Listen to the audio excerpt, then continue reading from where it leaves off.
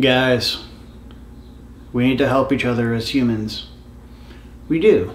It makes you feel better, and it makes the other person feel better, and it's just human nature to help people. We need to stop worrying about stuff that we can't handle. Political stuff. That's not in our control. We need to stop worrying about media. That's not in our control. That's all hype. That's all hearsay. That's like believing wrestling is still real. We know it's not, it's just a show. It's to get a reaction out of us. With that said, what do you do to help people? Me? If I see a homeless man that's cold on the side of the road or sleeping under my steps by my apartment and I have a coffee, I'll give the man my coffee.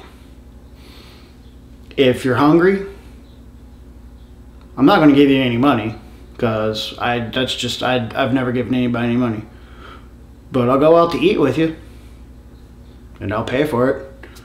Or if I don't have any money on me, if I don't have anything to buy you food, but I happen to have food, if I have a bag of chips, if I have half a hoagie, some pizza, whatever, I'll split it with you, I'll give it to you.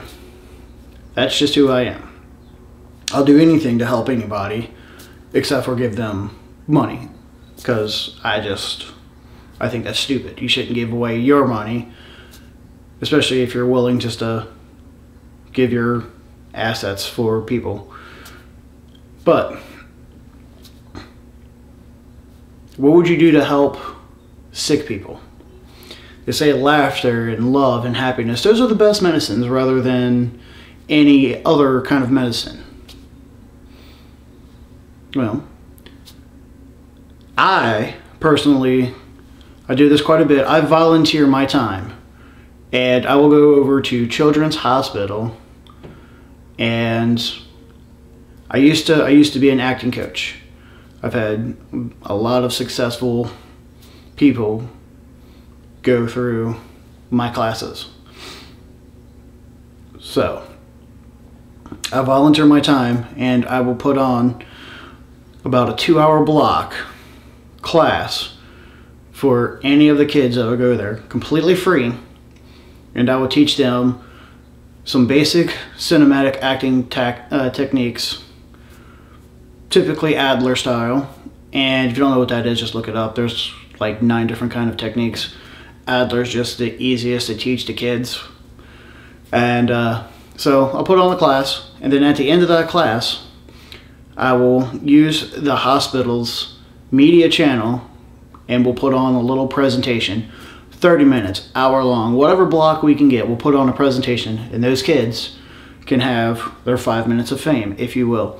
They will get to feel something as a terminally ill kill kid with cancer or anything they will get to have that five minutes of fame they will feel more alive in that time frame being in everybody's eye watching them than most people will feel in the rest of their life. And I don't do that to raise awareness for myself or anything like that.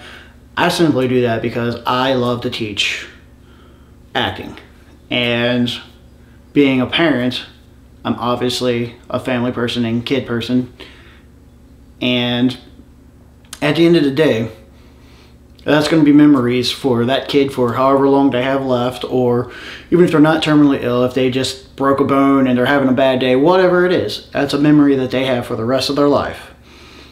And their parents, their household, whatever, can record that segment that we're putting on. That's a memory that everyone can have about that kid. That's something I do. I volunteer my time and teach kids acting. Not only do I do that, I will go to geriatric hospitals, old people's homes, nursing homes, conv convicts, or not convicts. I don't mess around with them. But anyway, uh, uh, uh, I, I'm having a mind blank. The place where nurses, or not nurses, nuns live. Uh, yeah, starts with the C. But I'll volunteer my time there, and those old people, I'll just hang out with them all day. I'll play some chess. I'll cook with them. I'll cook for them. I'll just spend hours there and talk to them. I've taken my son a couple times, and he loves going. Last time I took him last summer, uh, he was just starting to walk around and he was kind of doing that whole I'm curious, blah, blah, blah thing. And so the nuns, where we went, they just gardened with him. And my son had a blast. And I guarantee those nuns loved it. When I take him to go and see any of the old people in nursing homes, they love him. My son's all smiles, laughing, laughing. He's just, he's a ball and everybody loves him everywhere he goes. He's probably going to get kidnapped one day because he's just that friendly. But that's that's another thing I do. I just any free time I have, if I don't have anything planned, so yeah, any free time I have, I'll go and volunteer and give somebody else my time because they probably are doing absolutely nothing and bored out of their mind probably that's probably the first person they've seen in months, years, hours, days, you know. Everybody gets depressed when no one comes around. And so me at some point they're probably going to like start recognizing me, but for the most part they just see a friendly guy who laughs, who jokes with them, and who cooks for them. Uh, when I go and hang out with the kids and teach them acting, they just see a guy who is making the best day of their life happen, pretty much. Even if it's not, it makes me feel like they are enjoying it because they are laughing the entire time. They, of course, are not the best because they have no experience, and I'm having fun with them. I'm mostly just playing acting games, but it's something that you guys should do. You should start volunteering your time. Not to get the glorification that you volunteer, because that really pisses me off when I hear people that do that. Like, oh, I volunteered 30 year, 30 hours this week because I make too much money and that's what I do. I, no, dude, just do it to hang out with people. Be a friendly person.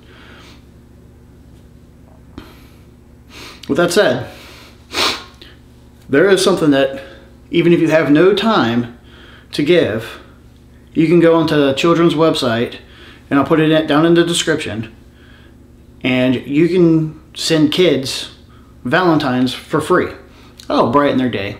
And Children's isn't the only hospital that does that. There's a list of hospitals, and I'll also add that in the description. So if there's one around you, you can send that hospital Valentine's for kids, or you can do it all.